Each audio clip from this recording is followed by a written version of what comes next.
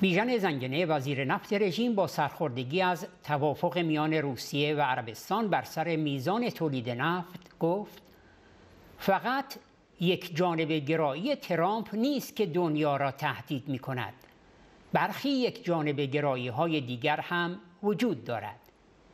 این روال اوپک نبوده که یکی دو نفر خارج از آن توافق کنند و بر توافق خود در اوپک مهر تایید بزنند. ما اینجا نیستیم تا تصمیم هایی را که در بیرون گرفته می شود اجرا کنیم.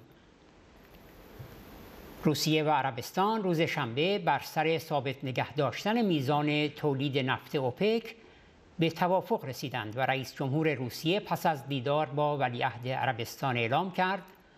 مدت این توافق بین 6 تا 9 ماه خواهد بود.